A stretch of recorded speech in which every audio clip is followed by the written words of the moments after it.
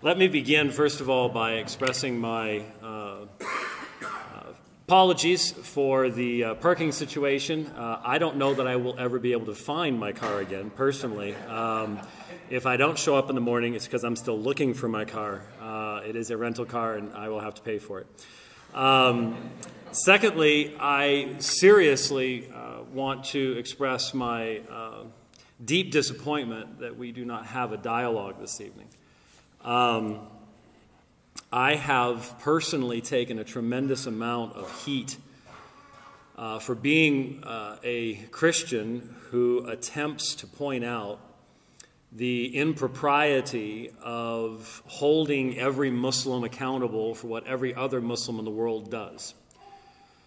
Uh, I understand, uh, in light of what happened in France, uh, that there would be hesitation on the part of someone to engage in a theological dialogue. The problem is there's something going on almost everywhere in the world, almost every day. So if you don't have a theological dialogue because of that, you're never going to have a theological dialogue. But uh, I, I, fully understand that. And I also, um, and I think he will be surprised by this, I also understand uh, the pressure that exists upon an imam at this time in our, in our nation. For example, I am scheduled to have, and I, I hope it happens, uh, a dialogue with Dr. Yasir Qadhi in January of next year. And uh, it is not a debate, it is a dialogue, and it will be uh, formatted in that way. And one of the reasons I think he's agreed to do that is because I think he recognizes that I have, over the years, extended a tremendous amount of effort to try to understand Islam from the perspective of the Muslim mindset. And as such, um, I recognize that Islam is not one monolithic thing. We frequently refer to it that way. But I just want to ask my fellow Christians, please, to realize we demand the right of others of defining what we believe. Uh, I guess a conference took place today, Resolve 2016 or something, I don't know what it was. But uh, even the Pope was supposed to be there. And I had said I, I, I, couldn't go to something like that unless I was debating the Pope. Uh, and this Pope might debate, I don't know, he's an interesting one. Um, but uh, I couldn't be there and just, and just uh, you know, sweep these differences under, under the rug. Uh, I, I have to be able to define what I believe in opposition to others. Um, I remember 2001, 2002, somewhere around there uh, up at Temple Square. We used to come up during the general conference all the time. Uh, and then Fred Phelps and his gang showed up. And I have written on the subject of homosexuality. Uh, I've debated on the subject of homosexuality, but I absolutely demand the right to differentiate myself from someone like Fred Phelps. I will not answer for his behavior because I do not have the hatred that he had in his heart. I do not behave the way that he did. And so, if I demand of others that I must be able to define my own faith, how can I not turn around and then, and, and then extend the exact same um, grace and right to other people? Uh, I know that there are differing views within what is called broadly Islam on many, many issues. I've actually taken the time to read Islamic history. I'm one of the few Christians I know of that's not only read the Quran in, in numerous translations, I've learned enough Arabic to muddle through particular portions of it, uh, but I've read all of Sahih al Bukhari, all of Sahih Muslim, uh, major portions of Jamiat Tirmidhi and uh, Sunan Abu Dawud. These are hadith sources. I've read portions of the hadith that the, uh, the Shiites offer as well. And many of the early tafsir, uh, tafsir literature, tafsir is commentary upon the Quran, Ibn Kathir and other people like that, Al-Qurtubi, I have invested a tremendous amount of time to try to understand Islam from an Islamic perspective and from the original sources, unlike most people on Fox News. And as a result, I know something about classical Islam. I know what classical, um, the classical law, the Sharia, was in regards to things like jihad and things like that. I can tell you beyond a shadow of a doubt that what happened in Nice violates all the, the ancient uh, uh, Sharia uh, standards in regards to jihad. I understand these things. I've taken the time to do these things. That's what's so disappointing, is that someone who then takes the time to try to tell other Christians, hey, don't fall into the Fox News mindset. Don't fall into the MSNBC mindset either. That's you know two two pits on either side. Uh, but don't fall into that mindset that every Muslim is carrying an AK 47 behind their back, just waiting for you to turn so they can shoot you. That isn't true. I know Muslims who are my friends, and they call me that. And I've earned that respect. And that's what we as Christians should be doing. It should be natural for us who follow Him who is the truth to be truthful in how we deal with other people. And if our two communities cannot dialogue with one another, if we can be blacklisted, I, am I'm, I'm, I'm really concerned that there are certain Islamic apologists out there who will never actually engage me, uh, who may be behind having scuttled this, this conversation. They may have contacted and, and said untruthful things about me or something like that. I don't, I don't know. Um, but if that's the case, if two communities cannot talk, then all they can do is fight. And our two communities don't know much about each other. How many of you here have read the entirety of the Quran? One person. Okay? If I were to ask a similarly sized Islamic group, how many of you read the Bible? You'd have about the same percentages. We don't know each other's uh, religious texts. The vast majority of us don't know the language of Islam. We don't know, uh, I'm going to introduce you to a number of terms this evening. Same thing in reverse. And the result is pretty much all we know about the other side is what we've heard from our own group. And that's very rarely an accurate thing, unfortunately. And so I'm very disappointed because there are important issues to discuss. And I think, it, I think what happened in Nice, what happened in France, what happened in, in Istanbul, uh, these things only increase the need for us to be discussing these things, not decrease it. And so uh, hopefully, um, my, my desire will be that the Imam will take the time to maybe watch uh, this once it's posted and hear the true disappointment uh, of what we could have done, and I think how we could have advanced the conversation. That's what I'm trying to do around the world. Uh, I have had the opportunity of standing in the Juma Masjid in Durban, South Africa, which used to be the largest mosque in the southern hemisphere. Uh, to engage in discussion on the deity of Christ with uh, a Muslim apologist by the name of Yusuf Ismail. Uh, I was in the uh, mosque in Erasmia, uh, the uh, Abu Bakr Siddiq Mosque in, in Erasmia, South Africa, the year before that with Shabir Ally, and we were discussing the issue of salvation. Um, I think it's important that we continue to move this conversation forward, and this is an, a vitally important topic. So, what I'm going to do is I want to present to you as fairly as I can um, the A, notice I almost said the, a Muslim understanding of who Jesus is. And I think it would be the majority perspective, but you, you need to realize you've got westernized Muslims, uh, you've got Muslims that come from other countries that have very little Christian influence in those countries, and they, they're sometimes going to have different emphases and, and things like that. Uh, but I, I, want to give you an, an accurate understanding, um, and then we can discuss that. And you might say, well, that's not fair. There's no one here to defend it. Well, I will do my best uh, to give you what kind of defenses have been offered because I have had many opportunities of engaging folks on these very subjects in, uh, in mosques and in other situations around the world. So let's, let's start with some terms because unfortunately, uh, there are certain, you, you really can't discuss Islamic theology without understanding a certain terms that sometimes we don't share in common.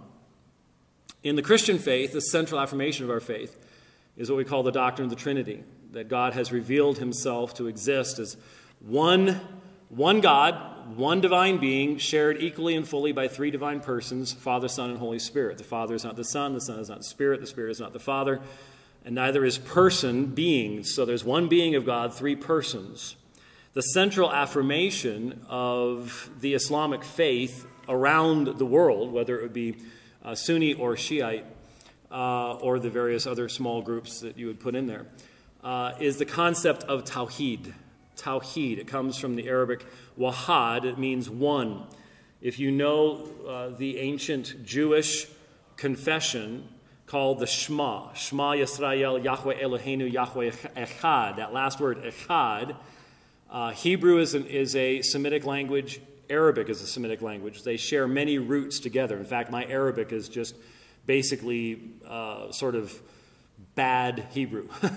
I've taught Hebrew, and so the, I sort of just bring the Hebrew over to, and sometimes that helps, sometimes doesn't. But uh, same root that is used for one, echad, in Deuteronomy 6 4, uh, is the root for wahad, one, and then tawhid then becomes the oneness of God.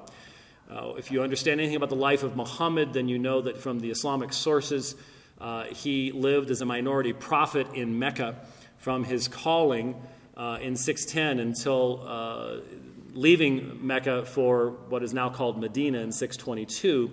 And during that 12 year period, he was um, very poorly treated. Uh, according to the sources, at one point, for example, he was bowed in prayer, and some of his enemies came along and, and draped camel entrails on his back while he was bowed, and his daughter had to come along and take the, the, the material off of him. Uh, he was mocked. Uh, obviously, he was in, his life was in grave danger uh, because though he was a member of the Quraysh tribe, uh, the Quraysh tribe uh, had control over what is called the Kaaba. And in those days, the Kaaba, by tradition, had 360 idols in it. And one of the major sources of income for Mecca were pilgrims coming to worship at the Kaaba and to circumambulate the Kaaba and so on and so forth. So to become a prophet and start preaching a, a monotheism when your own tribe, much of its financial income came from polytheism, well, it wasn't the most popular thing in the world to do. And so many people wanted him dead. For quite some time, he was protected by his uncle Abu Talib, who was a very powerful man. And uh, I will tell you a little story about Abu Talib a little bit later on, well, in just a moment when I describe for you the negation of the central affirmation of, of the Muslim faith. So, the, the central thing that a Muslim would say, we believe, is that Allah is one. Now, initially, that emphasis was one over against all these others. So the initial emphasis is monotheism. There is only one true God. But over time, that has also developed to where it's not just one true God, but one God in one person. So a Unitarian monotheism. I am a monotheist. There is only one true God, Yahweh. And that one God uh, has manifested himself in three divine persons the Father, Son, and the Holy Spirit. That, they would say, is a violation of Tawheed. And so that oneness of God, very central to Islamic thought. So the worst sin, in fact, the only unforgivable sin, according to the Quran, you can see this in Surah 4, uh, the one unforgivable sin is the violation of Tawheed, which is called shirk. Shirk, S H I R K, shirk. Now, in secular Arabic, uh, like a corporation, uh, that's the term that's used for a corporation. It's, a, it's association together. But when it comes to religious things, it is the association of anyone or anything with the worship of Allah. And so there are different kinds of shirk. There's major and minor shirk, just as there are different kinds of tawheed. Uh, tawheed uh, in the names and attributes of God, tawheed in his lordship. Uh, so you can violate Tawheed in different ways as well. There's different kinds of shirk. But according to the vast majority of Muslims, uh, to die as a mushrik, a person who has committed shirk, and most Muslims around the world, not all, there are, there are American Muslims uh, who do not believe that Christians are mushrikun, but for the majority of Muslims around the world, uh, they do believe that Christians, because of our worship of Jesus, and they believe Jesus is merely a prophet, a highly exalted one, a very special one, did many miracles, as I'll say in a moment, but still merely a prophet. Because of that, the vast majority of Muslims around the world believe that Christians are mushrikun. And if you die as a mushrik, uh, there is no forgiveness for you. Um, one of the things that I've tried to do so as to facilitate communication with my Muslim friends, as I mentioned, is to um, read uh, the major collections of what are called hadith, the ahadith literature. Uh, and the two major collections of that for Sunni Muslims are, is uh, Sahih al-Bukhari and Sahih Muslim. And these are the actions, sayings, uh, doings of Muhammad and his companions uh, collected 250, 300 years after the time of Muhammad uh, himself. And so these are multi-volume works. I listened to them while riding my bike. That's how I do things. Um, and that actually helped me Uh, I think I learned them better doing it that way because many of the uh, hadith are repeated multiple times in the collections in slightly different forms. If you were reading, as soon as you started reading the same story, you'd probably just skip over it. But since it was an MP3 format, I couldn't do that. I just, uh, I, I listened literally. There was one particular story. I don't know why it was so popular.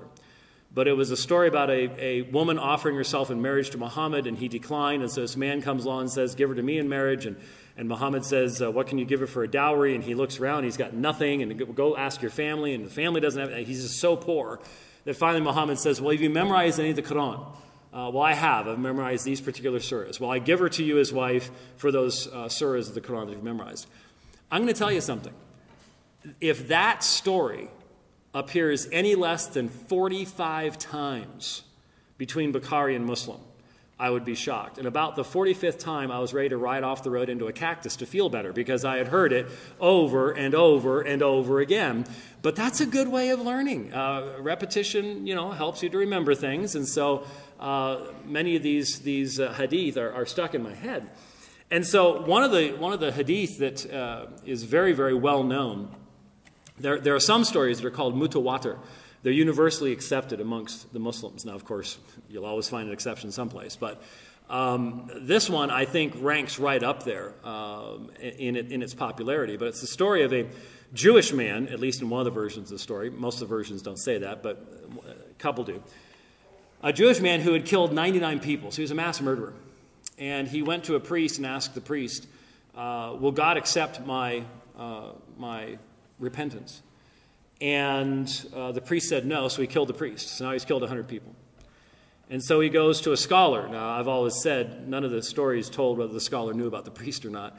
Uh, but uh, he asks a scholar, Will my repentance be accepted by God? And the scholar says, Go to such and such a city uh, that is filled with, with wise and, and godly people, and they will tell you what you must do for your repentance to be accepted. And so while he's on the way to that city, the time of his death comes. In, in most Islamic thought, uh, 40 days after conception, uh, it is written down for you, whether you're going to be male, female, when you're going to die, whether you're going to heaven or hell, it's all written down for you. Now, there are obviously disagreements, but that's a common belief. And so um, the time came for him to die. He drops dead in the road, and an angel comes from paradise, an angel comes from the fire to argue over his soul. Now, you would think that this is pretty much a slam dunk, uh, but the angel from paradise says, ah, but, but he was going to find out about repentance. And so Allah decrees uh, that if he is one cubit closer to the city he was going to than the city he was coming from, then he'll go to paradise. And then he causes the earth to shrink between that city and him, so he's one cubit closer, and so he goes to paradise. Now, the point being that Allah can have mercy on whom He has mercy. Now, I don't have time to develop this this evening, but uh, I discussed this issue uh, in the debate with Shabir Ally in the mosque in Erasmia in South Africa, because the subject was on the issue of salvation. My, my concern about that is that God's law becomes trampled underfoot. There is a distinction, there's a ripping of how God's law represents God's very being uh, a ripping apart of that unity that I, I, think really needs to be there, and it, it, causes some serious issues regarding God's righteousness, in my perspective. But I don't have time to develop that, that evening. You can go on YouTube, you can listen to the, uh, the dialogue between myself and Shabir Ally uh, from South Africa in 2013 on that particular subject if you'd like to. But there is the idea that God can forgive anything except for shirk. So, in other words, a violation of Tawheed idolatry, false worship, is the worst sin you can commit. You can kill a hundred people and yet still go to paradise.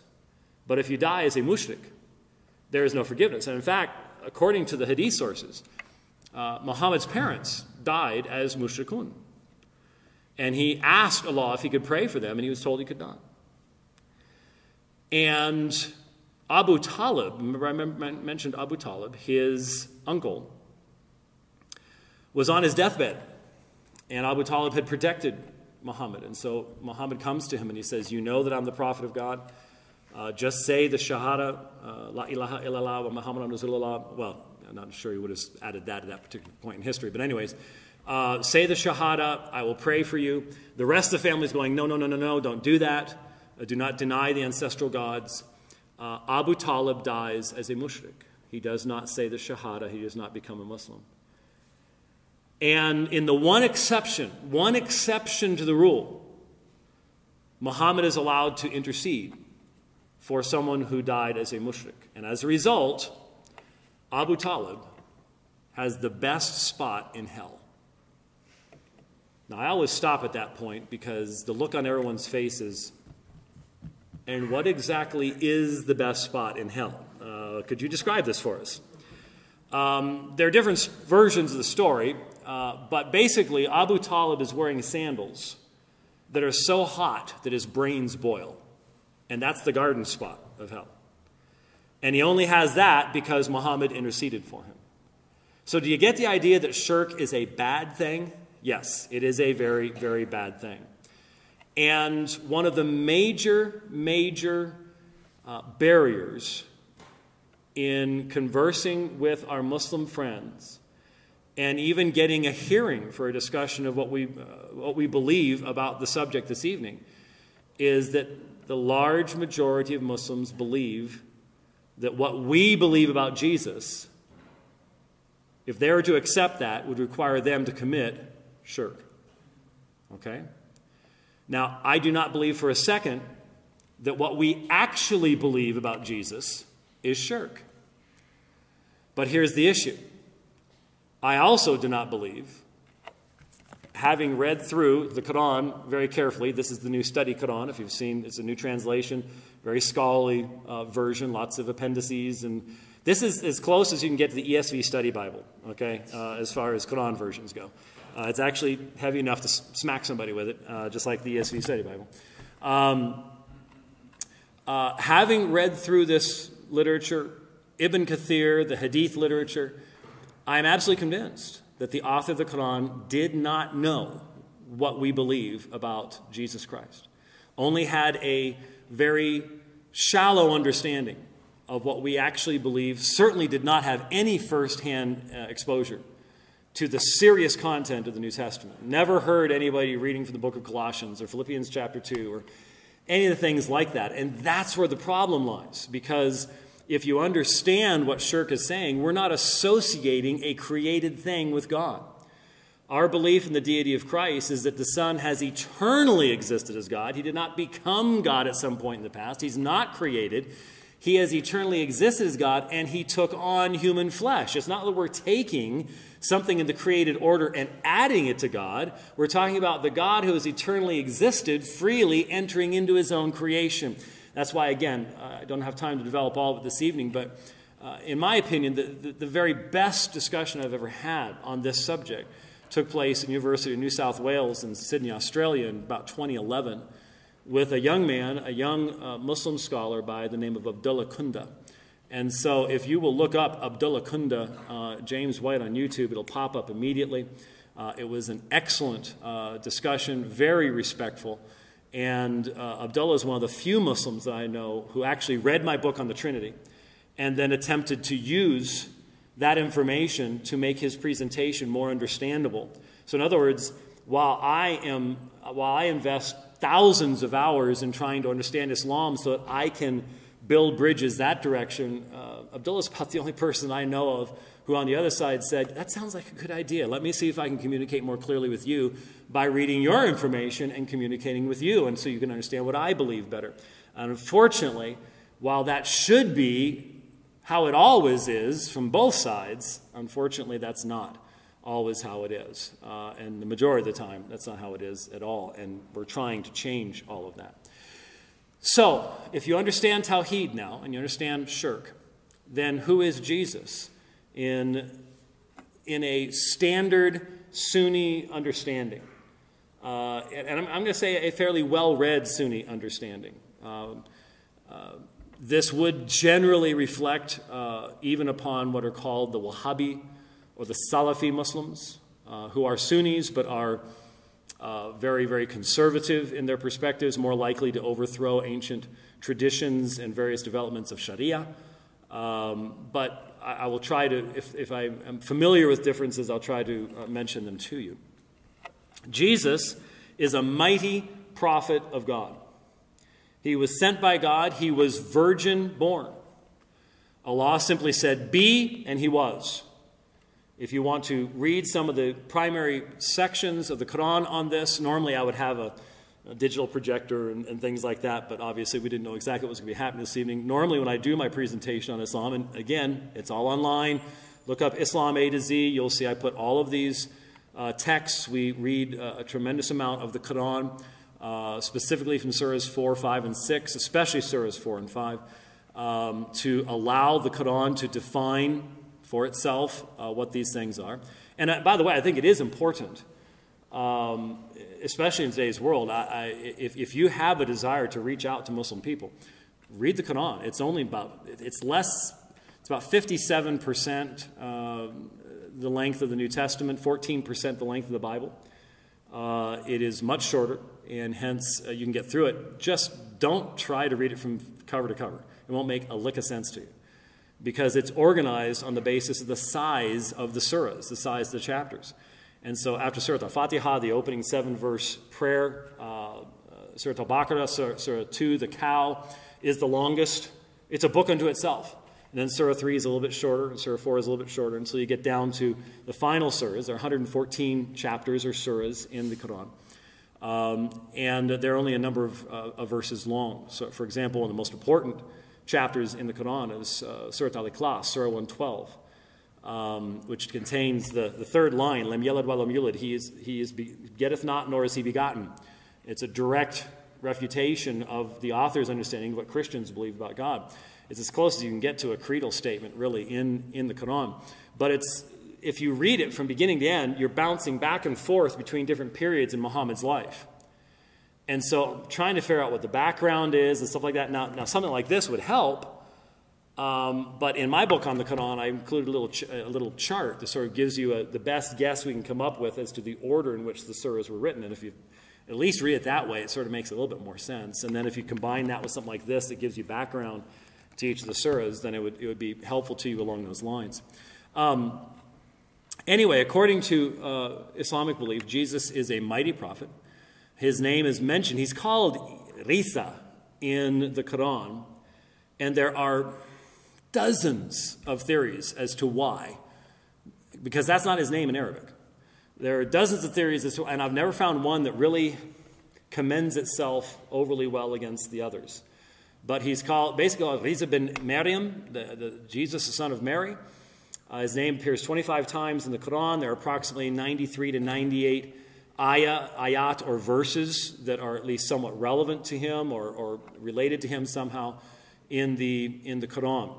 And so uh, remember, the Quran is being written. I mean, Muhammad dies, according to traditional sources, in 632 AD.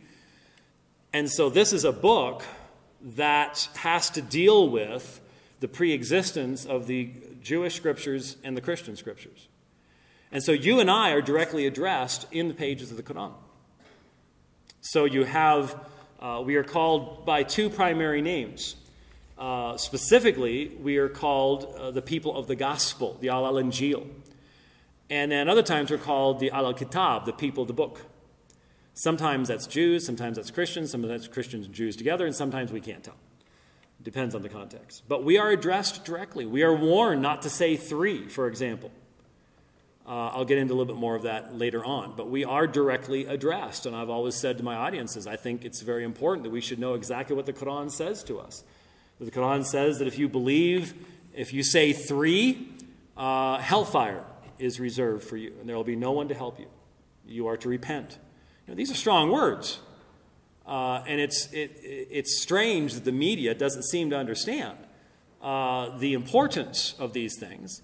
And obviously, from my perspective, uh, from uh, if, if, you're a Muslim and you believe the Quran is the actual word of God, and you need to understand from the Muslim, the, the classical Muslim perspective, um, the Quran exists in heaven on a, on a tablet, and it is uncreated. In fact, this creates a lot of major philosophical and theological issues. Uh, this is a doctrine that I think history shows very clearly developed over time. Uh, but it became Sunni orthodoxy. It's not Shiite orthodoxy, in my understanding. But it became Sunni orthodoxy that the Quran is uncreated, it is eternal. Not just in the sense that God knew it was going to exist, but that it actually had true, eternal, uncreated existence. And it came down on what's called Laylat al Qadr, the night of power, which is, well, we're not sure exactly what night it is. Uh, it's an odd numbered night in the last week of Ramadan. So it wasn't that long ago, uh, if you are aware of when Ramadan is. Ramadan keeps moving in our year because the Muslims use a lunar calendar and we use a solar calendar. So it moves 10 to 11 days forward in our calendar each year. Anyway, it was sent down to the angel Jibril on Laylat al Qadr, and then it was sort of piecemealed out to Muhammad over the next 22 years as need be. And so it, there is nothing of man in it.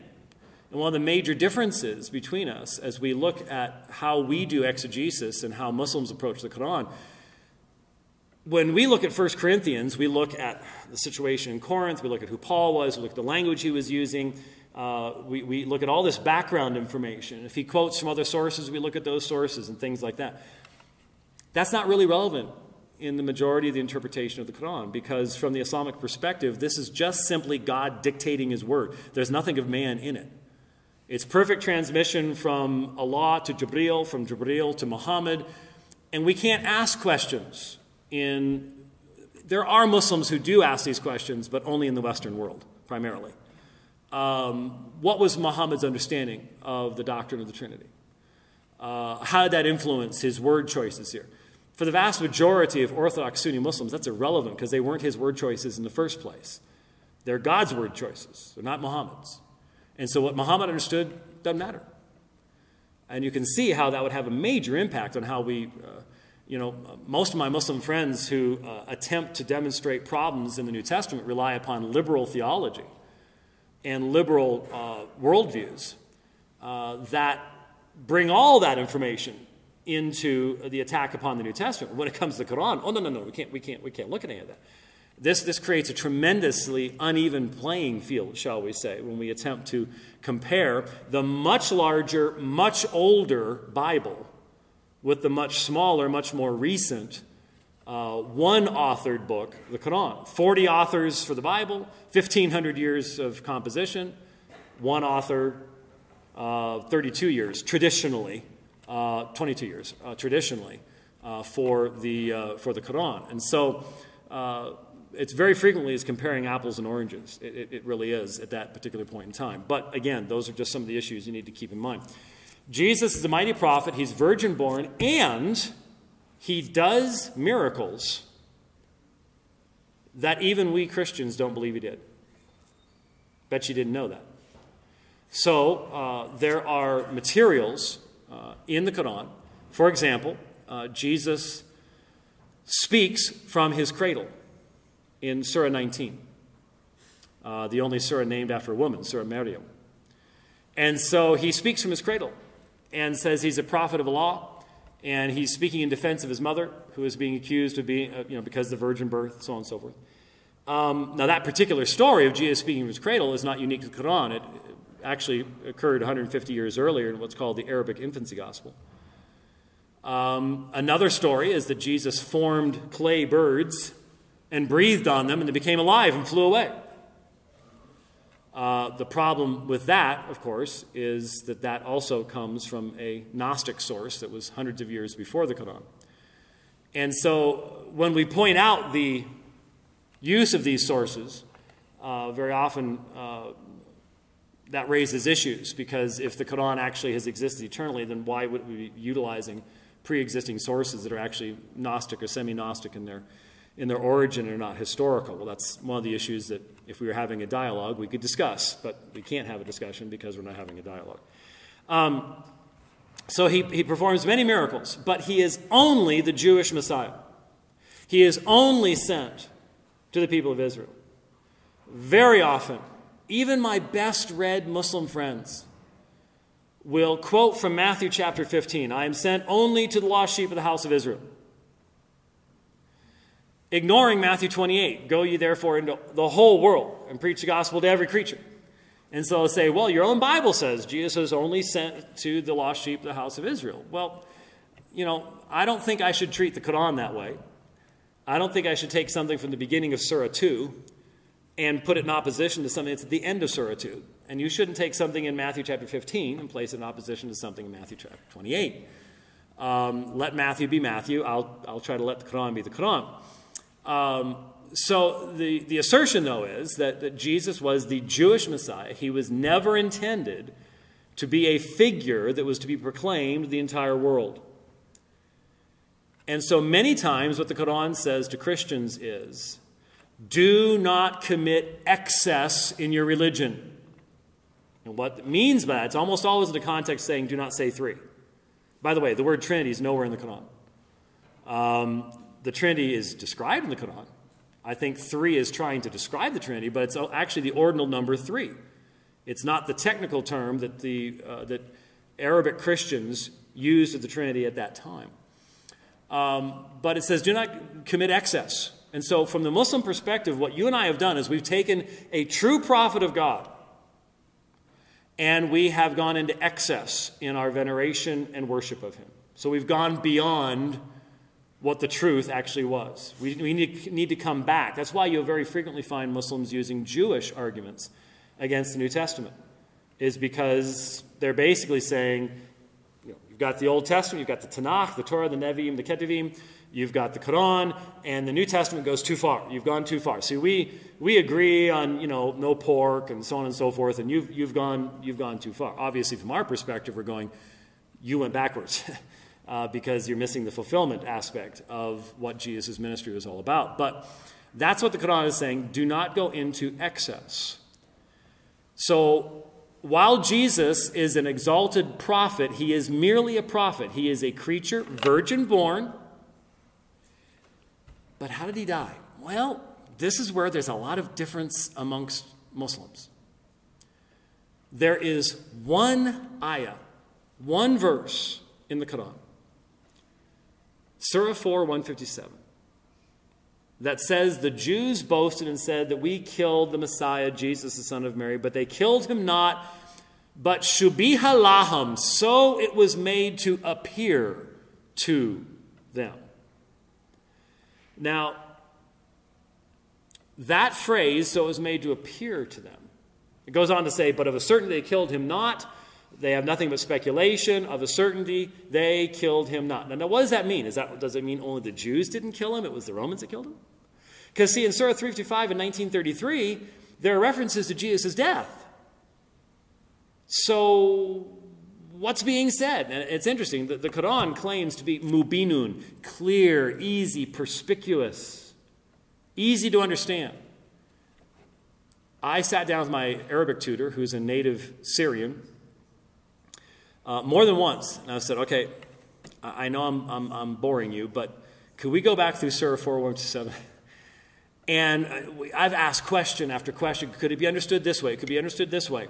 What if we take the vowel points out and just look at it as a consonantal text? Could, could we interpret it this way? Could, trying to understand specifically what is said in Surah 417. Why? Because it seems contradictory to the rest of the Quran. It is completely contradictory to history itself.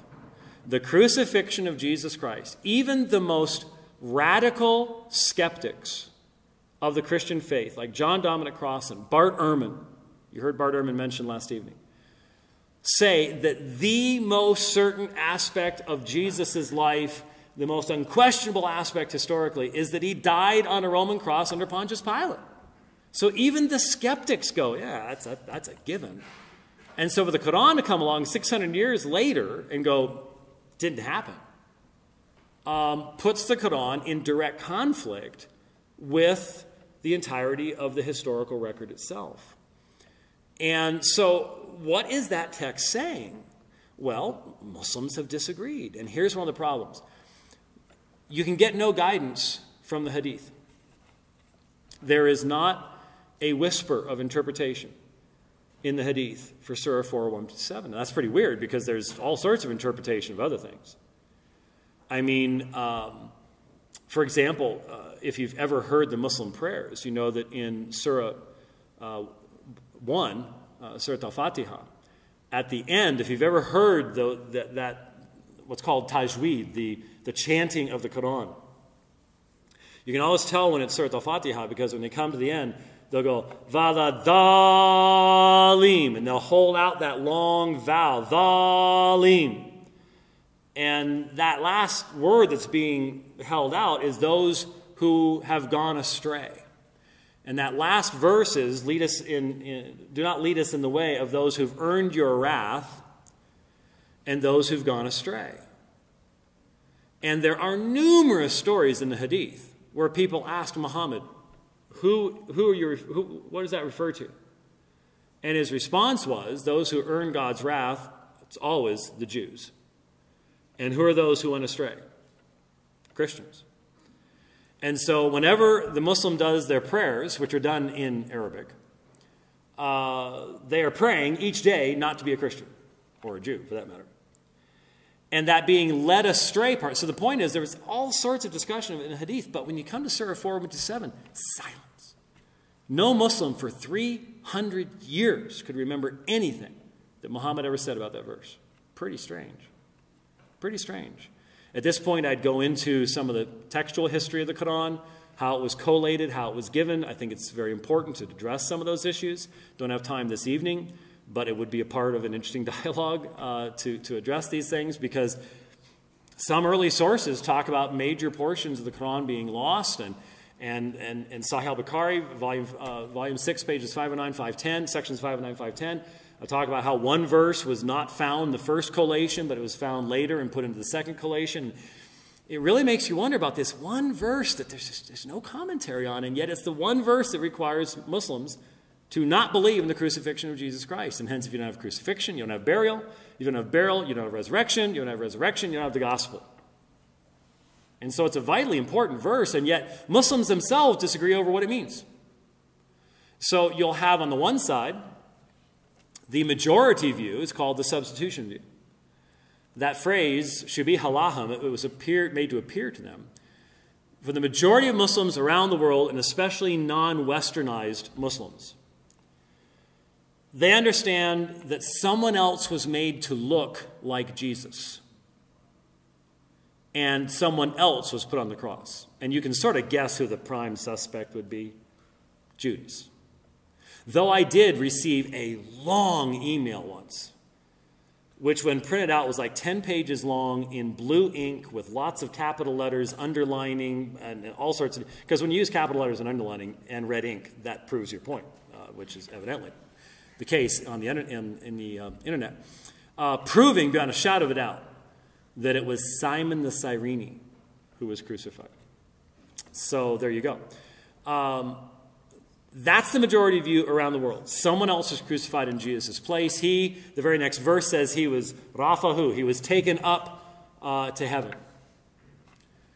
Um, but a lot of westernized Muslims don't go that direction. You know why? Because when you think about it, the substitution theory means God started Christianity by mistake. He did such a good job fooling everybody in putting somebody else upon the cross, an entire religion developed that has created more shirk than anything else the world's ever seen. And so a lot of my westernized Muslim friends will go, Allahu Alam, Allahu Alam, God knows, God knows. All I know is Jesus wasn't crucified. What else happened? Don't know. Don't know. Can't tell you. So uh, that is the second major issue in regards to Jesus is worship of Jesus shirk? And did Jesus die upon the cross? Now, Islam has an incredibly um, in depth and developed eschatology. In fact, they make us look like amateurs. And you thought, and you thought after Left Behind that no one could ever uh, uh, get close to get close to us, right? Um, Seriously, there, there's, there's, a, there's, a, there's a tremendous amount of eschatolog uh, eschatological speculation in the Islamic world. It's not so much in the West, but in the Islamic world. And generally, it is believed that Jesus will return at the head of an Islamic army. Um, the Hadith say that the, the rocks will cry out and say, There's a Jew hiding behind me. Uh, Jesus will come and he'll destroy the cross and the pig. the cross and the pig. Many, many Muslims believe that we worship the cross, that therefore it is uh, an idolatrous thing. And of course, if you look at enough uh, you know, Roman Catholicism bowing down in front of crucifixes, you could probably figure out why someone would think that that's actually what's going on. Um, but Jesus will return, but as a Muslim, uh, not as the Son of God, not as the King of Kings, so on and so forth. And I'll, I'll, I'll, I'll close my presentation as to who Jesus is by narrating uh, what is, I believe, a mutawatir hadith, a, a universally accepted hadith, that is fascinating in its, in its teaching. And that is, according to the hadith, when the day of judgment comes, uh, humanity as a whole will stand in great fear of Allah.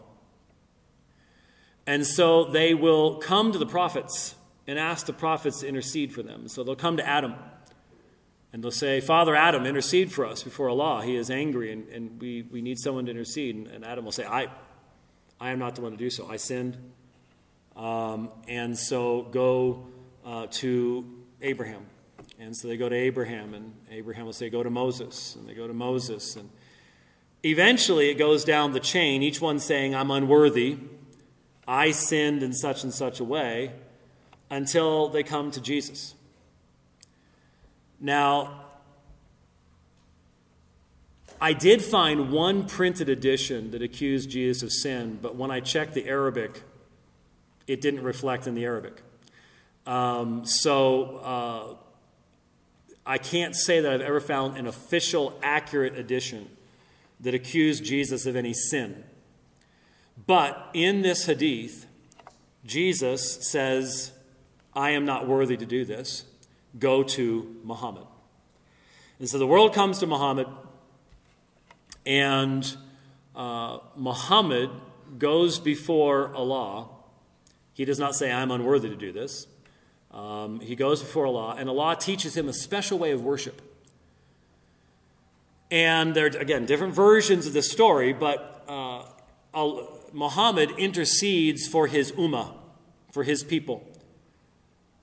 You can make the argument from the hadith sources that as long as someone has truly made the profession of faith, has said, La ilaha illallah wa Muhammadan Rasulullah, and become a Muslim, and there are like seven things you have to fulfill to be able to do that properly and has to be done in Arabic, it has to be done in, for witnesses, etc., etc. But there, you could make the argument from some hadith that as long as someone has said that, they will eventually enter into paradise. They may spend a fair amount of time in the fire before they get there. It's not really a, a purgatory concept, but it is a fire concept. They even call the people of the fire. They enter into paradise blackened in one, one version of the story. But Muhammad intercedes for them, and he does so multiple times until the last person who had the least bit of iman, least bit of faith, uh, comes out of the fire and enters into paradise.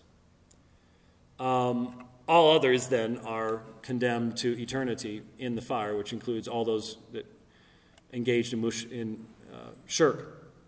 Now there are some hadith in Sahih Muslim, Sahih Muslim, sorry, um, that some people reject and question their, their validity. Uh, that indicate that the sins of Muslims will be placed upon Christians and Jews in their place. A concept of substitution, interestingly enough. Um, but I do know Muslims who say those are ahad, that is, they have one chain of narration, and they question the validity of hadith that have only one chain of, of narration. So there's, believe me, I, I, I have burned in my memory uh, a couple years ago. Uh, I live in Phoenix, Arizona. I am an avid cyclist. Uh, yesterday I rode up to Brighton and Guardsman Pass, and this morning I did Alta. Uh, figure out the, the, the, ascent on that. That's 10,000 feet in two days. Um, I am one of those crazy uh, spandex clad uh, people out there in the dark climbing those mountains. And when I live in Phoenix, like as soon as I get back at the end of July, August, it's really hot in Phoenix. And what you need to understand is it's always hot in Phoenix. Um, I, I, climbed South Mountain in 1996 on my bike, and that was the night we set our high low temperature. So before sunrise, the coolest it got was 96 degrees uh, with high humidity. Humidity almost as high as New Orleans. We're not supposed to tell people that happens in August because it's supposed to be a dry heat. It is in June. It's not in July and August. And so the only way to get a ride in, in in, Phoenix is to get up literally at 2.30 in the morning, be on the road by 3. And it's amazing how much study you can get done. Uh, there in the dark, you're not having to dodge cars, anything like that. And I remember, I don't know why I remember with such, such clarity. But I was listening to Sheikh Yasir Qadhi's uh, lectures on the hadith sciences and how you determine what a sahih hadith is versus uh, the lesser categories and, and things like that. And there's, it, it's extremely complicated as to how you determine uh, the, the status of these various hadith. And in many of the debates I've done, you know, I've brought up these sources, and very often my opponent said, "Well, I, I, just don't accept that particular that particular hadith." Okay, there's actually a movement going on right now uh, amongst Muslims who would say who recognize there needs to be reformation, and one of the fundamental things that always is brought up is as long as the hadith continue to hold the position they do in the in the interpretation of the Quran and the in the, in the construction of Sharia there can be no reformation. We have to have a new way of looking at hadith. Now, of course, that's only a very, very liberal Muslim that's going to say that, but that's what they're saying. Um, and I can't go into that this evening, but it is a fascinating area to uh, consider going into. So, Jesus comes back uh, at the head of the Muslim armies. There is, in general, uh, a presentation on who Jesus is. Now, if we were to sit down there for 75 minutes. And I've had conversations like this. I, I even, I even linked. Uh, this is what so, was so disappointing. Um, it was only earlier this, this year no, or late last year. I, I, don't know. Once you get past 50 years, or just they just sort of flow together. But um, at Reformed Theological Seminary in Orlando, I had uh, two dialogues with uh, Imam Muhammad Musri and it was sort of like that. We, we, had a, we had a podium, we spoke from the podium, and then we sat in two chairs, and you can go online and watch it. The, the Imam enjoyed it so much that we've been trying to arrange them in other cities. The only reason we haven't done them is because there have been so many terror attacks that almost every place we go to try to book a location, they want us to spend at least $10,000 in security. And we don't have that kind of money. So that's why we haven't been able to do it. But he wants to do it, and I want to do it, um, because it was done in friendship, it was done, but it wasn't done in compromise. You see, there's, there, we don't have to compromise what we believe. We just have to be honest enough and respect the other side enough to speak the truth, which means we're going to disagree. But you know what? Adults are supposed to be able to disagree without becoming offended. I realize that that doesn't work in our culture today.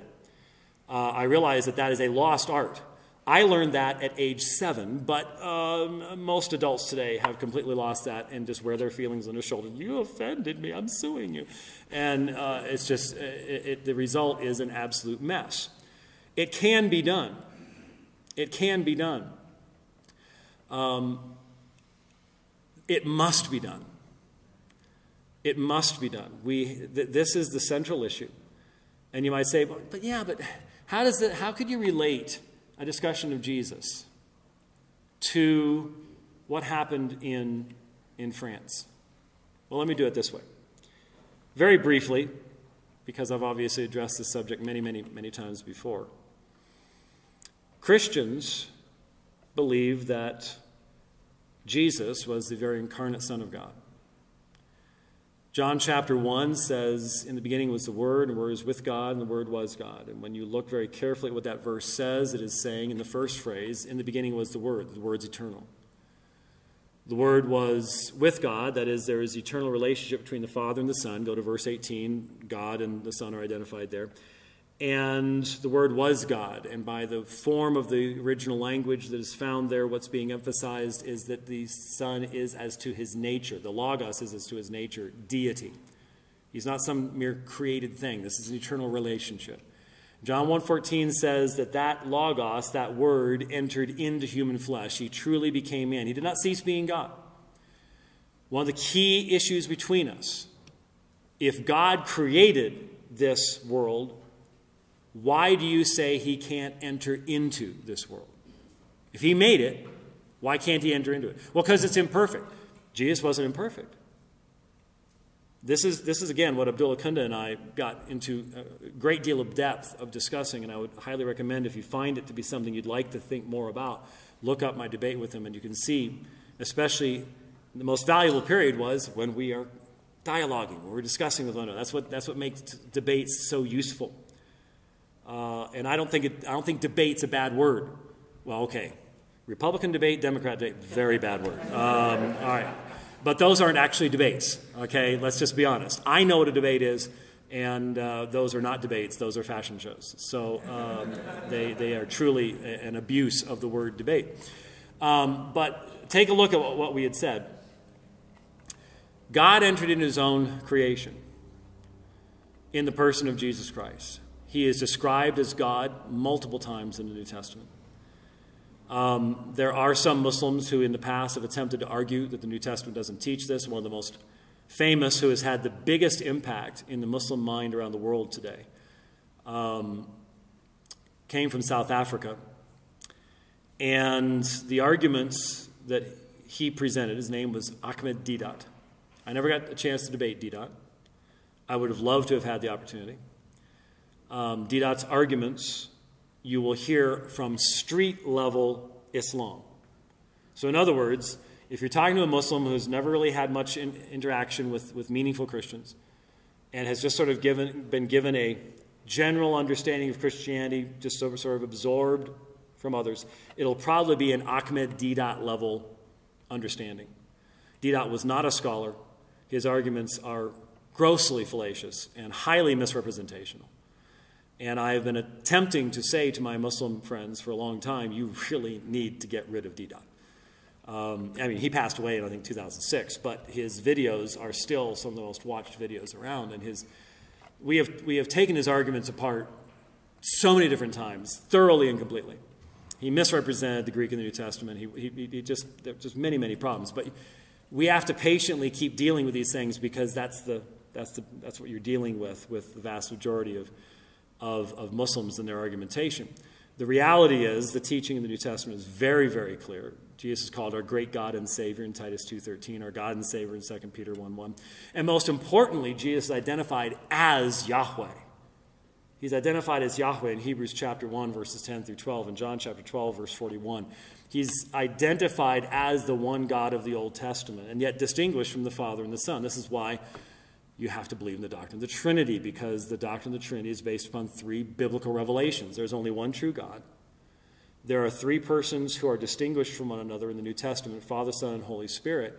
And yet the New Testament teaches the deity of each one of those three persons. You've got to deal with the reality of the person of Jesus Christ. And I have often said the doctrine of the Trinity is revealed in that space between the last verse of Malachi and the first verse of Matthew. And some people say, You're saying it's not in the Bible. No, what I'm saying is that the doctrine of the Trinity was revealed in history, specifically in the incarnation of Jesus Christ, his death, burial, and resurrection, and the outpouring of the Holy Spirit. All the New Testament was written after that.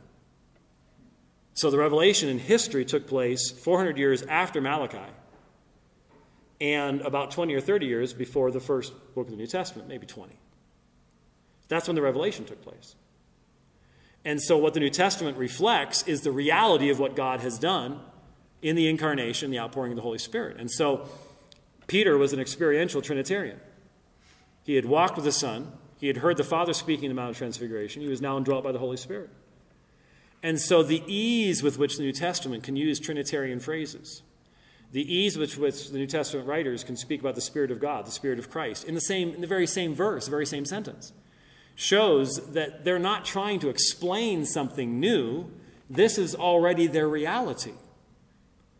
You know, when I write to friends of mine who are fellow cyclists, uh, right now the Tour de France is on, okay? And that's the Super Bowl for cyclists, you know, uh, each, each year in July. And so when, uh, when I write to uh, a friend of mine who's a cyclist, I don't have to include in every email to him a glossary of the terms that we share as a part of our experience as cyclists. I can make an easy reference to drivers who are texting and trying to kill us. I do not have to explain what a car is and what texting is or why this would be dangerous to a cyclist or anything else because we share that in common. And so we can just use phrases easily without having to explain everything. That's exactly what you have in the New Testament when it comes to the doctrine of the Trinity. That's why you have all these passages where you have Father, Son, and Holy Spirit, over, over 60 of them in the New Testament. Father, Son, and Holy Spirit associated one together, which would make no sense at all if the New Testament writers were actually saying what, say, the Jehovah's Witnesses are saying. You know, Jehovah's Witnesses believe in Jehovah God, and Jesus is Michael the Archangel, and the Spirit's not even a person. So you think about Matthew chapter 28 baptizing them in the name of Jehovah God, Michael the Archangel, and an impersonal active force. Yeah, that makes perfect sense. That's great. Yeah, that's lovely. Uh, certainly, that's exactly what, what was being intended. No, of course not. And so there doesn't have to be these creedal statements. I mean, there are some. I mean, 1 Corinthians 8 is about as close as you can get. When you take the Shema and expand it out to include Jesus, it sort of tells you a little something about the mindset of the apostles. But that's what the New Testament reflects to us, is the reality of the church and the experience of what they themselves know of who Jesus was and the uh, outpouring of the Holy Spirit. They're now indwelt by the Spirit of God. And so here's the point.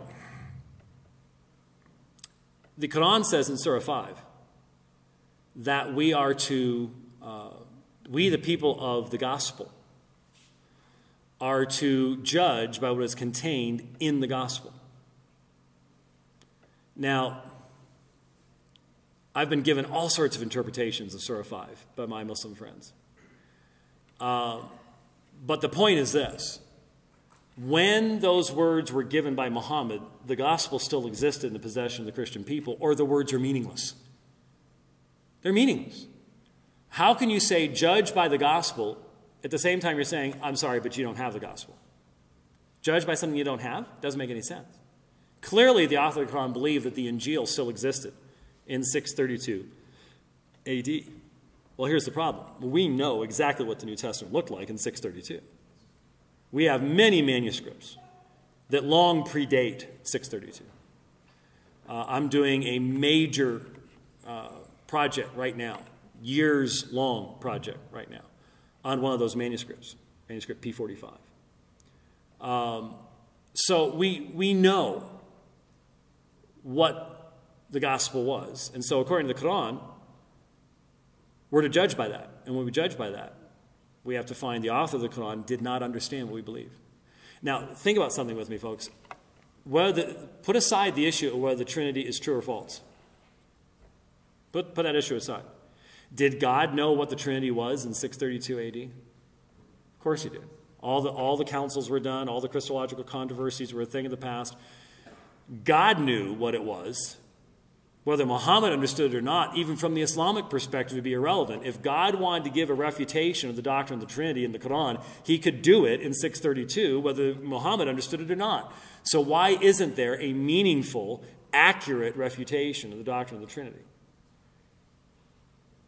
Instead, we have do not say three. Three what? Every single time the Quran says do not say three, the very next phrase is there is only one God. So, if, you know, let me use Alma from last night as an example. I'm not sure if he'll appreciate this. But he kept making statements about that other school, you know, the one down that way, I think. Um, and uh, uh, it would be sort of like if, if, if, if Alma said, do not say two, there's only one. Well, what would he be talking about? It's not BYU in Utah. There's only one. It's Utah. So what he's saying, when you, he wouldn't have to say, do not say two universities. There's only one university. That would be understood. Well, when the Quran says, do not say three, there's only one God, well, what's it saying we're, we're actually saying? It's saying we're saying there's three what? Gods. The author of the Quran thinks we're polytheists. The author of the Quran thinks we're saying there are three gods. We're not saying there are three gods. We don't believe that. Well, does the Quran ever identify Father, Son, and Holy Spirit? No. In fact, the Islamic understanding of who the Holy Spirit is, the Holy Ghost, is the angel Jibril. So, where in the Quran do you ever have three defined for you? One place. One place. And I'll even use the uh, official. Uh, like I said, this is, this is an excellent translation. Even though I don't know why they didn't use modern English. They, it, it, almost sounds like the King James, uh, which is sort of odd. Uh, but anyway, uh, Surah 5, Surah 5, Ayah 119. And unfortunately, we still need our progressive lenses here. Surah 5, 119. God said, This is the day wherein the truthful shall benefit from their truthfulness. Wait a minute. Uh, I'm sorry, 116. There we go. And when God said, O Jesus, Son of Mary, did you say unto mankind, Take me and my mother as gods apart from God? He said, Glory be to thee. It is not for me to utter that to which I have no right. Had I said it, you would have surely known it. You know what is in myself, and I know not what is in thyself. Truly, it is you who knows best the things unseen. So, so listen to what is said again. On the day of judgment, God is going to say, Oh, Jesus, Allah is going to say to Jesus, Oh, Jesus, son of Mary, did you say to mankind, Take me and my mother as gods apart from Allah?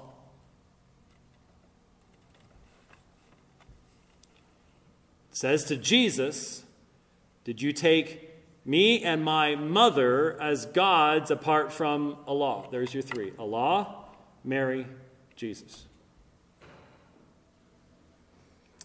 Where would something like that come from? May I make a suggestion? And to see, this would be something that would be so wonderful to discuss. I'd like to know how the Imam would respond to this. And it would help you to hear how the Imam would respond to this.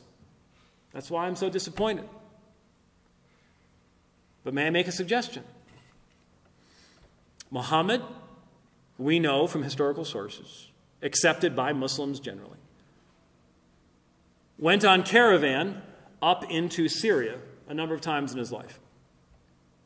And if you're, say, a 15 year old guy and you go into a Christian village in Syria, and, uh, you know, the camels are being watered and fed, you got a little time, you think you're just going to sit around, stand there watching the camels? No, you can get as far away from those camels as you can. And so you're going to go, you're going to go exploring, go looking around, and so, if you, as a 15 year old from Mecca, saw a Christian church, now, a Christian church in Syria in 585 AD is not going to be a huge edifice. But it is going to have some identifying marks.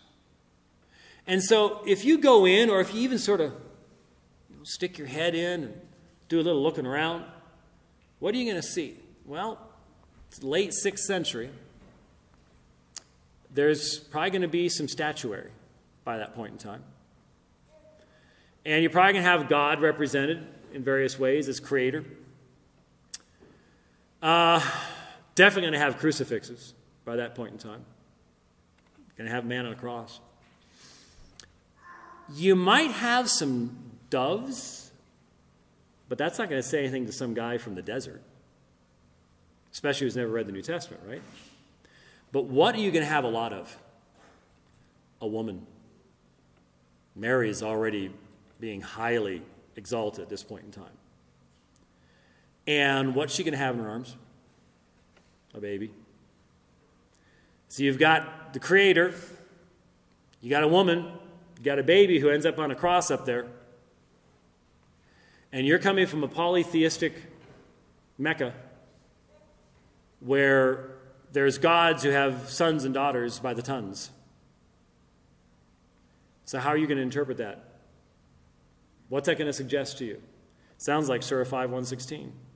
O Jesus, son of Mary, did you say to mankind, Take me and my, my mother as gods apart from God? There's the three. That's not what we believe. It is intriguingly what the Mormons believe.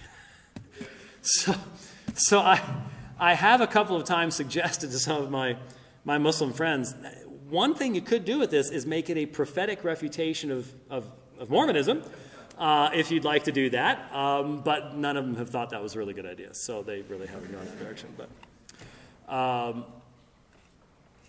we have to have a conversation about what the author of the Quran understood. Does the Quran accurately represent the groups that it says are going into hellfire? Because that happens to be me and my wife and my children and my grandchildren. I think it's sort of important. And I've shown enough respect to the Muslim to know exactly what this book says to me. And so it is an act of respect back to have a meaningful conversation. Not to compromise, not to sit around and say, well, we did, all we can talk about is all the stuff that we have in common. We do have things in common. In fact, I'm about to say something that's going to shock everybody in this room and wake most of you up at the same time. I have said this many times, but at the University of Utah, this will be an interesting way of, uh, this will be the most interesting context in which I've said it. Islam is closer to biblical Christianity than Mormonism ever could be. You know why? Because the most fundamental defining factor of religion is whether you believe there is one true creator God or whether you don't. Islam believes there's one true creator God. So they are monotheists like Christians are. As you were here last night, Mormonism does not believe that by any stretch of the imagination. It is a massively polytheistic faith. And so, on the most definitional foundation, Islam is closer to biblical Christianity than Mormonism ever could be because Mormonism is polytheistic. So, is it not the case that I can read entire sections of the Quran and go, that sounds like Isaiah? One God, creator of all things, foolishness of, of idolatry, foolishness of polytheism, you bet. But here's the question Did the author of the Quran understand what was in the Christian scriptures? And the answer is no. Why not? If it was inscribed by God on tablets in heaven, didn't God know what was in the New Testament? Of course he did. This then becomes, these become the foundational issues that we must discuss if we are going to have any meaningful progress in our dialogue with one another. It can be done respectfully. It could have been done respectfully this evening, but it didn't happen. And I hope, I hope maybe that the imam will watch this and go, you know what? Should have been there. Let's do it. Let's do it sometime in the future. Are we ready? All right. Does anyone have any questions? Yes, sir. Uh, how should we, That is the coolest walking stick I've ever seen. That is so neat. thank you, I appreciate that. Uh, how should we uh, be? What terminology should we use to refer to hell, and why uh, was purgatory uh, an inappropriate? Uh. Well, uh, I, I've said many times the, the Islamic sources have far more graphic and detailed descriptions of hellfire than anything even Dante came up with. Uh, and certainly anything than is found in, in the Christian scriptures, Old or New Testament. There's a tremendous amount of, uh, if you read the Hadith, over and over again, stuff about the fire. There's this, what's called the Sirat, the bridge that you have to cross over, and if you fall off, you go into the fire. It's just, oh, it's, it's, it's an amazingly large amount of discussion, some of which is, is, is sort of frightening. Um, but uh, I, there's, there's really not an issue of, uh, of terminology difference at that point. The reason I said it's not really purgatory is because purgatory in Roman Catholic theology has a specific meaning. It's only for those who are in a state of grace but need to be purged the temporal punishments of sins. And so it's, it's different fundamentally than hellfire itself. Whereas in most of the Islamic eschatology, uh, those who even will be taken out of the fire and brought into paradise, it's still the same fire that everyone else is in. So it's not like some, it, it, it, there is no concept of temporal punishments and things like that. It's not like there's a prescribed period of time. It's really more based upon how much faith someone had. Uh, but there's much more um, background to the Roman Catholic concept of temporal punishments, indulgences, merit, and so that's not a. Uh, Muhammad didn't have any understanding of that, so that doesn't really enter into, uh, in my reading, enter into the understanding of that. And in fact, there are Muslims who disagree. There are Muslims who don't believe that that Muslims themselves will ever go into hell. So I'm just simply saying you can make a pretty strong argument, and there are many Muslims who do believe uh, that there will be that period of time. Trying to look, this is one of the ma- this is one of the major issues, folks. I, having read as much of the Islamic material as I have, I recognize it's not a consistent body of material.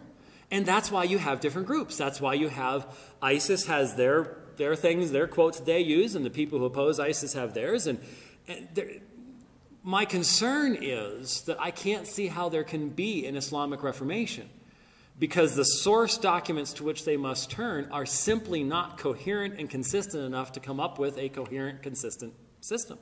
That's my concern. Um, and that would be a great subject for discussion, uh, but can't. Wow. Yes, sir. 50 words or less, please. I think I can do it. Is the typical Muslim response to the New Testament that the disciples actually didn't know who Jesus was claiming to be, or that the, their writings have been so corrupted over time that we don't know what the disciples actually said? The, the disciples, the true, the true disciples of Jesus, were all Muslims. And so uh, many Muslims uh, will, will buy into the idea that the Ebionites were the original, actually, the original followers of Jesus. Um, and the big baddie is Paul. Paul is, oh man. Uh, there's, there's a lot of anti Paul books out there. And the Muslims grab hold of them and use them all the time. And so Paul corrupted all that stuff. And exactly when or how, you're never told.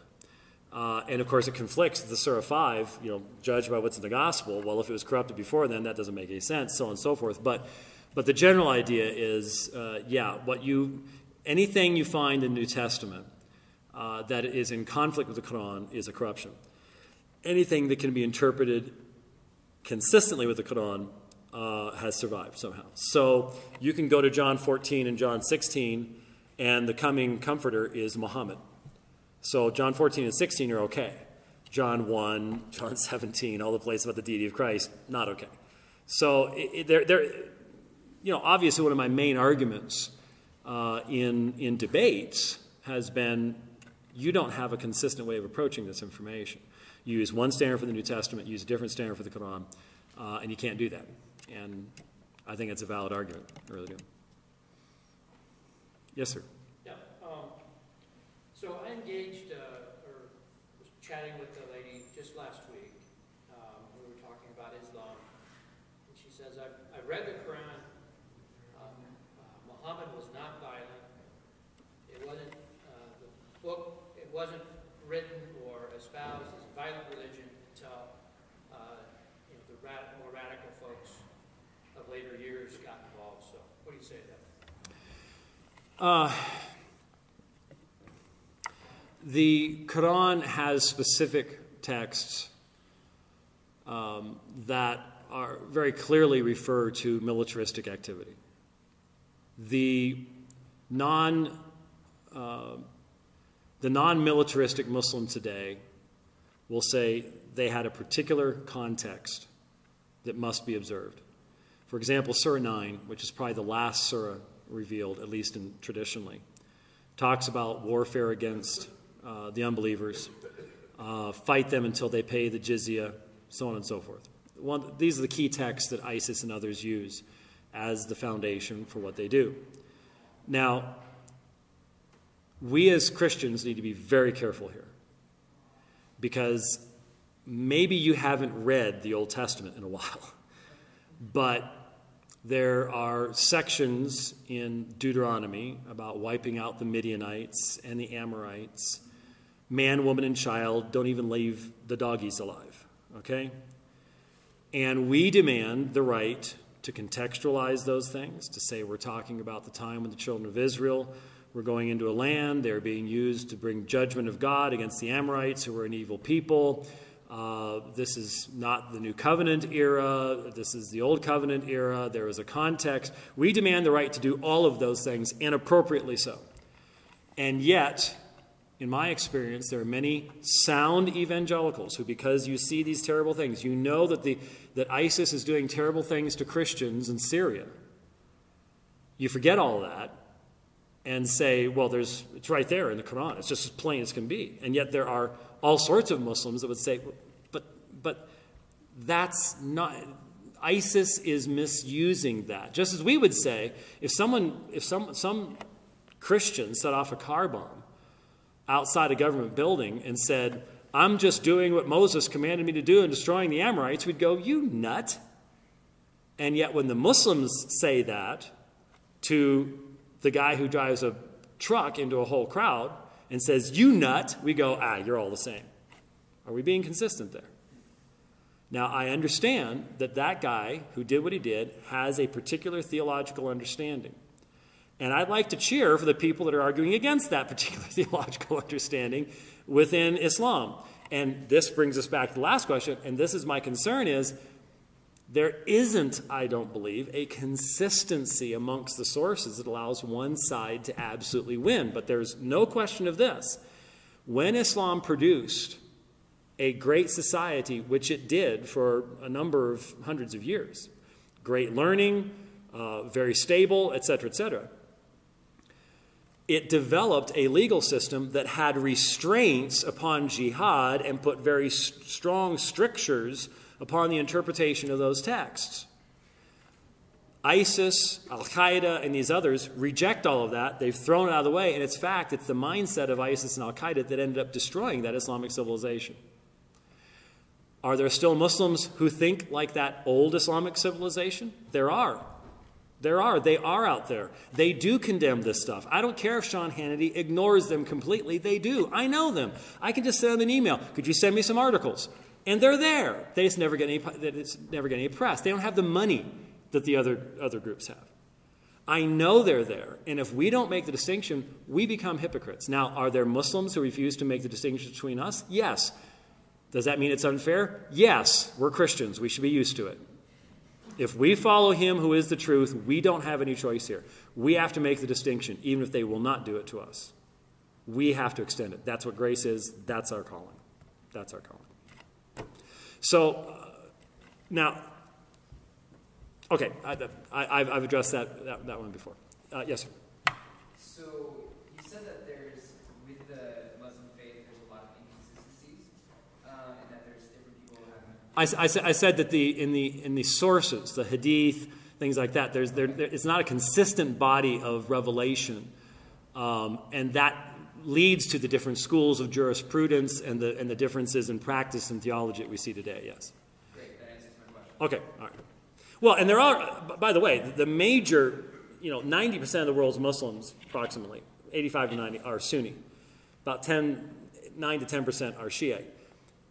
That is a, there's a whole other story behind why that, that exists. That's primarily in regards to succession in the caliphate it goes way, way, way back, and it's had fascinating theological stuff. I mean, it, within Shiite Islam, there's actually a concept of substitutionary atonement, but it's because of, a, of the wiping out of a certain family at a point in time. So it's fascinating to look at. Um, but that's a different thing because the Shiites have different, they have different hadith. They have the same Quran, but they have different hadith and things like that. So that, that's a little bit different. But amongst the Sunnis, even the sources they use, I don't find to be consistent.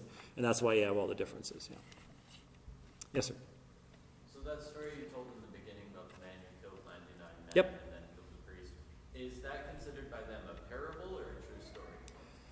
Well, it's, one the, it's part of the hadith. And so um, you wouldn't you, you wouldn't have to believe that it historically happened, but since Muhammad taught it, then the, the truths communicated by it uh, are, are authoritative for a Sunni Muslim. Yeah. Yes, sir. See, you only went like that. That's, that's Are there similarities between saying the Shahada and saying the sinner's prayer? And is there a concept of regeneration within uh, Islam? Man, I wish I had my digital projector in my presentation because one of the things I normally do is I start off showing people taking the Shahada at a what can only be called an Islamic altar call in Sydney, Australia, from only a few years ago. And the what, I love watching the audience as they watch this happening because, on the one hand, there's all these parallels. People coming forward, they're being encouraged by the audience. Uh, the speakers saying, Come forward. They're coming uh, very similar to this. They're, they're lining up along uh, the thing uh, in front of the stage. They are given copies of the Quran and books about Muhammad. They're given discipleship gifts. Uh, and then they're led in the Shahada. Now, they have to be led in the Shahada because you have to say it in Arabic. And so he says it, you know, la, la, and they repeat after him, and he, he walks them through the whole thing. And then everybody applauds wildly, and, and so on and so forth. But then it's the differences that make people uncomfortable, too. The guys are wearing the same dress that Muhammad would have worn in the 7th century. Uh, I always like to ask the audience how many of you made your profession of faith in Christ in either biblical Hebrew or Koine Greek? And I normally have one seminarian someplace that goes, you know, some geek, you know, that type of thing. Um, uh, but uh, I, I lay out the similarities and then the differences. And one of the main differences to see in light of the fact that you have to even make the confession in the language of Muhammad is that Islam never had its own Acts chapter 15. Now, if you remember Acts chapter 15, that's the Jerusalem Council. And at the Jerusalem Council, it was decided that you didn't have to become Jewish before you became a Christian. In other words, because of Acts chapter 15, the gospel can go out to the whole world and it transcends all the boundaries, it transcends all of the languages. Uh, you can make your profession of faith in any language whatsoever. You don't have to have the dress and the trappings and and and Islam never had that, and so it brings that culture with it, and that's what's causing so many of the problems today. So there are similarities, and then there are some real major differences. As to regeneration, no, because there is no concept of spiritual death. Uh, there is no concept of total depravity. There is concept of sin and punishment for sin, but um, and there are divisions between Muslims in regards to qadr and uh, whether and the whole concept of predestination. They have their own argument about that. Um, but there is no concept of total depravity, of nature, binding of the will, uh, the bondage of the will, anything like that. And so anyone can simply choose to repent and do what's right in God's sight. There doesn't need to be a regeneration and dwelling by His Spirit, new creation, anything like that. No. Let's do two more. Yes, sir. Do Muslims have a, an idea of bodily resurrection?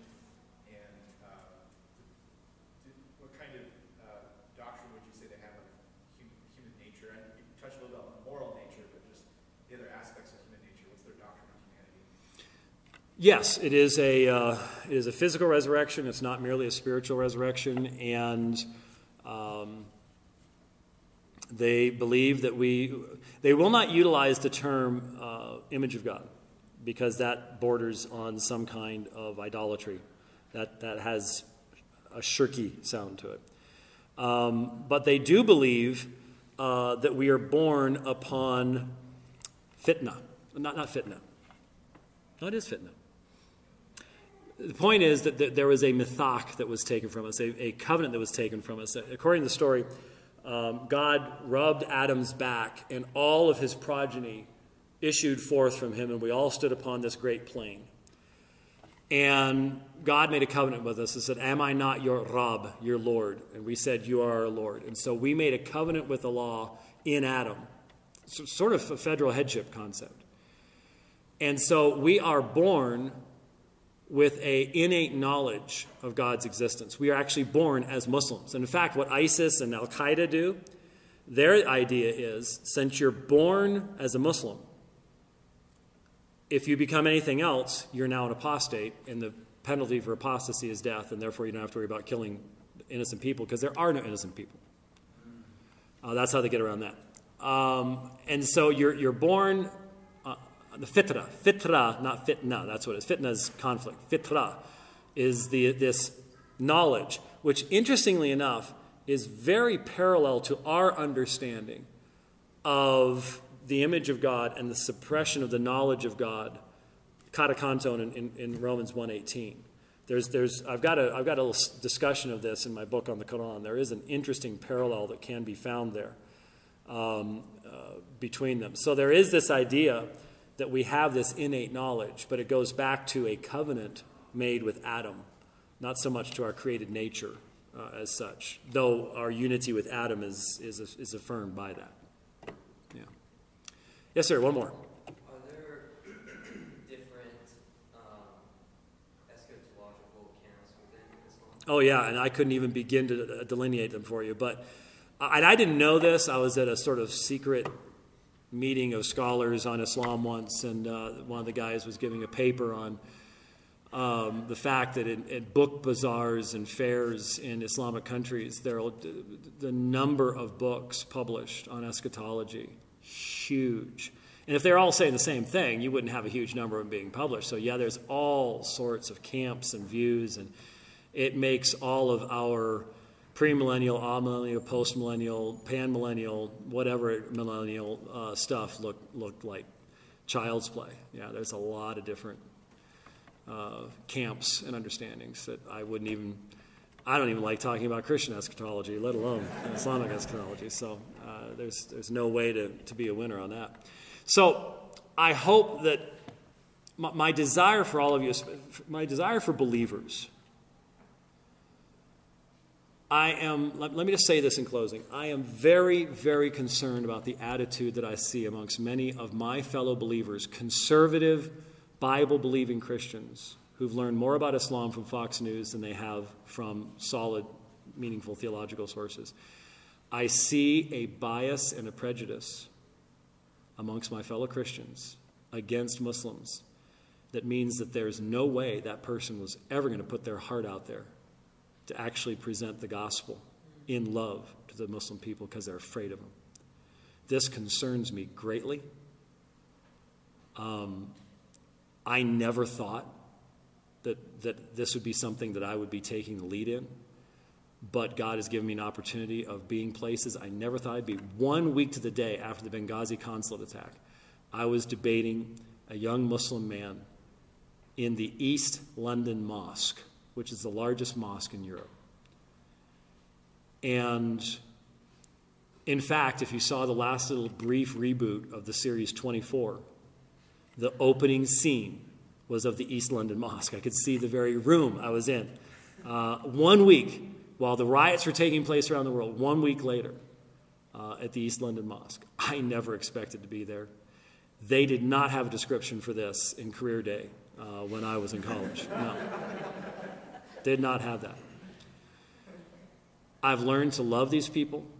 I've learned to pray for these people. They need Christians who know what they believe and will speak the truth in love and will not be filled with fear.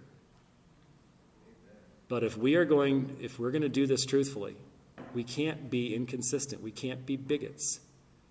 If we demand that people allow us to define our faith, then we've got to do the exact same thing for them. We have to. If we don't do that, we are not truly following after Christ. So please, don't just take this information and store it away someplace like ammunition for the day when you're going to go to battle. Um, use this information and say, Lord, how can, how can you use me? How can you use me?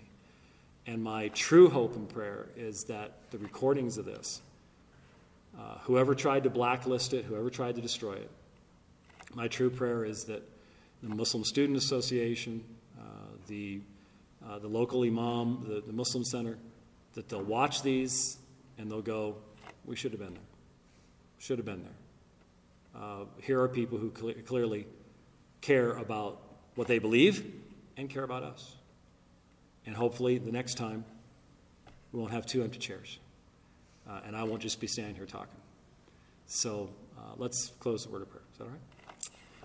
Our Heavenly Father, we do thank you for the freedom we still have to discuss these things in this land. We do not know how long we will have this freedom, but as long as we have it, may we use it to your honor and glory. We do pray for the Muslim people. We pray for ourselves that you would fill our hearts with a love for you, for your gospel, and therefore a love for those who need to hear that gospel. And you would cause us to be truthful and honest and careful in what we say about others. Give us that opportunity, Lord. We do thank you for this evening. We ask you to continue to bless this conference as our focus will be upon you and upon your truth. We thank you for uh, the gift you've given to us in the gospel of Jesus Christ that gives us peace with you. May we truly treasure it, we pray, in Christ's name.